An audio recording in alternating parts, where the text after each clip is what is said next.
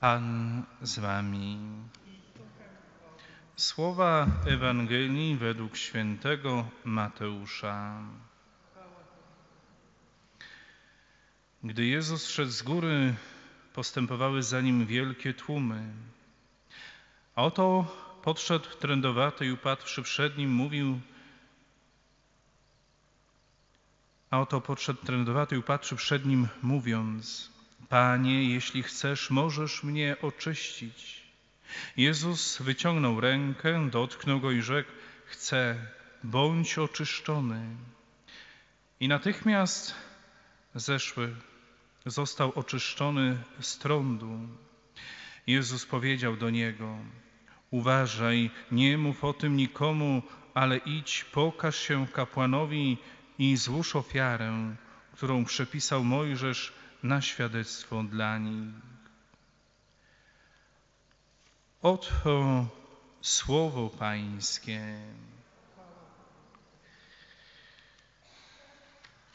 Bracia i siostry, dzisiejsza Ewangelia przedstawia nam trędowatego, pełnego bólu i świadomego swojej choroby, który jednak przychodzi, do, przychodzi od Jezusa, aby prosić Go, Panie, jeśli chcesz, możesz mnie oczyścić. Człowieka, jak to powiemy, wiary. Także my, gdy widzimy tak blisko Pana, a nasza głowa, nasze serce i nasze ręce tak daleko są od Jego planu zbawienia, właśnie powinniśmy poczuć się zdolni do wypowiadania takiego samego, jak właśnie trędowaty zdania. Panie, jeśli chcesz, możesz mnie oczyścić. Kochani,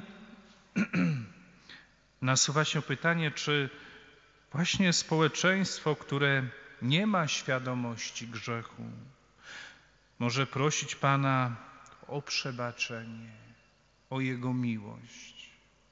Czy może prosić o jakiekolwiek oczyszczenie, szczególnie serca? Wszyscy znamy wiele, wielu właśnie ludzi, którzy właśnie cierpią, a ich serca są poranione, lecz ich właśnie dramat polega na tym, tak naprawdę, że nie zawsze są świadomi właśnie swojej osobistej sytuacji. Mimo tego Jezus przychodzi na naszą stronę dzień po dniu i właśnie oczekuje tego samego wezwania, które powinniśmy sobie wzbudzać w sercu. Panie, jeśli chcesz. Ale te słowa powinny być wyrażone właśnie z pełną ufnością i wiarą. Lecz my także powinniśmy współpracować właśnie z tą łaską Bożą. Musi od nas po prostu, kochani, zależeć. Święty Augustyn przypomina nam słynne zdanie: Ten, który stworzył Ciebie, bez Ciebie Cię nie zbawi. To piękne i istotne zdanie. Ten, który stworzy Ciebie, bez Ciebie Cię nie zbawi. Kochani, zatem potrzeba, abyśmy byli w stanie prosić Pana, aby nam dopomógł w tym, że chcemy zmienić się właśnie za Jego pomocą, za Jego prowadzeniem.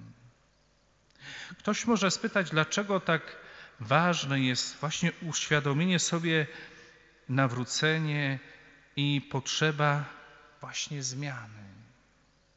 Po prostu dlatego, że w przeciwnym razie nie moglibyśmy dać pozytywnej właśnie odpowiedzi na poprzednie pytanie, w którym pytaliśmy właśnie o społeczeństwo bez świadomości grzechu, które raczej nie czuje potrzeby szukania Pana Boga, by wyrazić prośbę właśnie o tą pomoc. Bracia i siostry, dlatego gdy przychodzimy przychodzi właśnie moment żalu, chwila właśnie sakramentalnej spowiedzi, tak ważne jest, byśmy, by odciąć się od przeszłości, od bólu, który zatruwa nasze ciało i naszą duszę. Nie wątpimy więc. Prośba o przebaczenie jest wielkim właśnie momentem, jak to powiemy, inicjacji chrześcijańskiej, gdyż jest to właśnie chwila, w której spada nam z oczu zasłona, jak to powiemy, łuski. A jeśli ktoś zdaje sobie sprawę ze swojej właśnie sytuacji i nie pragnie nawrócenia, ludowe przysłowie mówi: Nie ma większego ślepca nad tego, który nie chce widzieć. Kochani, dlatego też prośmy naszego Pana Jezusa Chrystusa, aby On właśnie prowadził nas i aby to światło Boże, które zostało w nas zapalone, światło sakramentu Chrztu Świętego, który obmywa nas z każdego grzechu, abyśmy w tym świetle trwali i pomimo naszych codziennych upadków zawsze, kochani, widzieli Jezusa, który stoi przed nami, aby nas prowadzić. Amen.